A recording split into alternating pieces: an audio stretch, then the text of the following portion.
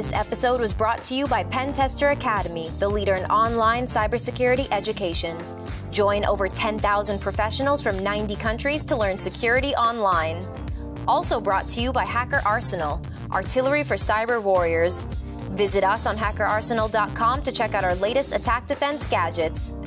I'm Marli Oxenholm from Pentester Academy TV, and welcome to our show, Access Point, where we spotlight cybersecurity companies and give an inside look at the people and technology behind the latest advancements in the industry. I'm joined today by Ofer Israeli, who is founder and CEO of the company Illusive Networks. Thank you for joining me today.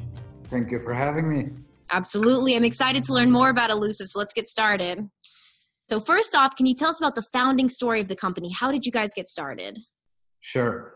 Um, we started off with uh, looking at the world of targeted attacks, obviously, super important to our industries in general. And we really looked at what would be the best means to thwart these types of attacks, really get ahead of the game.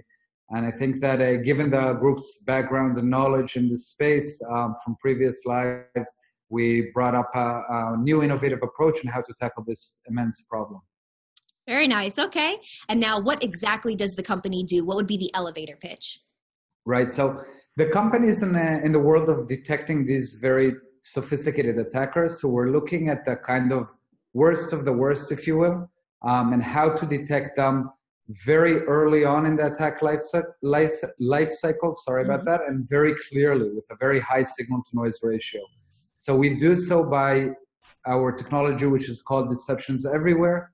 The idea is that we are able to build multiple realities into the real reality inside an environment, and by doing so, mislead attackers when they're progressing within and basically catch their activities.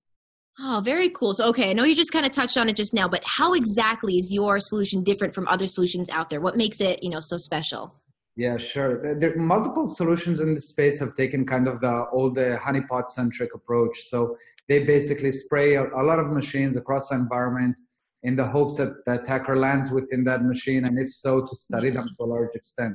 Our approach is a detection first capability. It says prior to any investigation, you really want to make sure you're able to catch the attackers, make sure you surface their activities, and then obviously accompany that with a lot of detailed information as for what it is they're doing, who they are, and so on and so forth.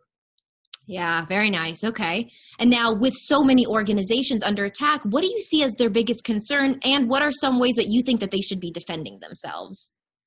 I think the biggest concern is that many of the organizations don't know how to handle these types of attacks. They're deploying a bunch of different solutions in there, but the reality is that many of these attacks go uncovered, you know, for months and months, and we see these reports coming out across the board. Um, and at the same time, there's a whole bunch of solutions which are ca- causing a lot of noise in the SOCs of the world, right? Mm-hmm. The Security Operations Center is overwhelmed by an amount of false positives they just can't deal with, and they don't actually catch what matters. I think that's exactly the refreshing approach that we bring to the table of how do you keep to a very low uh, noise ratio um, and at the same time make sure that you are able to catch these types of attackers. Yeah, absolutely. It seems like so many companies are dealing with a lot of alert fatigue too lately. So I agree. Now I'm wondering, why do you think deception technology is gaining so much momentum lately? I think it's uh, proving on its promise. I think uh, to date it's showed that the ability to deploy this in a very easy, lightweight manner so that you can actually get your ROI very um, significantly because you're not going to be investing a whole lot of manpower or resources in order to stand up the solution. And at the same time, it's catching attacks that other solutions just don't see. Mm-hmm. And so it proves itself as a very viable approach to catch these types of attacks. And now, with all the security tools organizations already have, why would they need Illusive? I think uh, you need to be in a situation where you can really deploy a tool that will give you the value that you're looking for, right? Mm-hmm. So if we take a tool that is a whole world of burdens to actually put up and you have to hire a bunch of people to go through a lot of data and try to find the needle in the haystack. That's not an effective approach and it's, it's not worth it. The reality is it's failing. And with Illusive i think we're doing exactly the contrary and that's why it's being adopted uh, to a good extent. Okay. Now speaking of other companies what kind of companies are adopting your solution? And can you talk about a case study in which you were able to help a customer Absolutely. We're seeing adoption uh, pretty much across the board. So uh, we're selling into all of the major sectors. Um, we're in the enterprise space, so we're looking at companies from around a thousand employees and up. On the low end of the scale, we have companies a thousand, two thousand, three thousand employees that basically take us for the lightweightness of the solution. And on the other hand, and uh, we have some of the biggest brand names in the world as customers where they're trying to leapfrog their security program and really make sure they're ahead of the game with you know the most advanced security capabilities. So it's been quite broad in terms of adoption, uh, both across industries and across geographies. Um, we've caught all kinds of interesting activities. As maybe a, an interesting case study was an ISP that deployed us. Illusive, shortly after the deployment, Illusive was able to unveil an operation when we investigated had been going on for 11 months traversing multiple different VLANs, oh. a very critical network, you know, something that is, let's say, nobody wants to catch that type of stuff in their environment. Right. Unfortunately, Illusive was able to uncover that while other security solutions remained dormant uh, during that attack itself. Oh my gosh, that's incredible. Thank God you guys caught that. And so now I know that deception based security is pretty advanced. How receptive are organizations to this security strategy, and how quickly can their security team see the return on this kind of investment?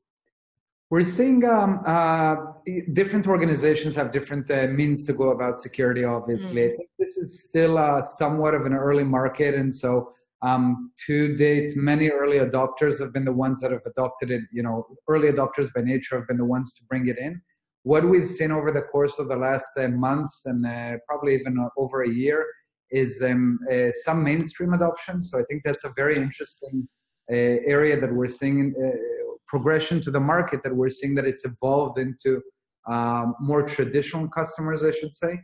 Um, and the adoption really is based on the fact of, of exactly what you pointed out.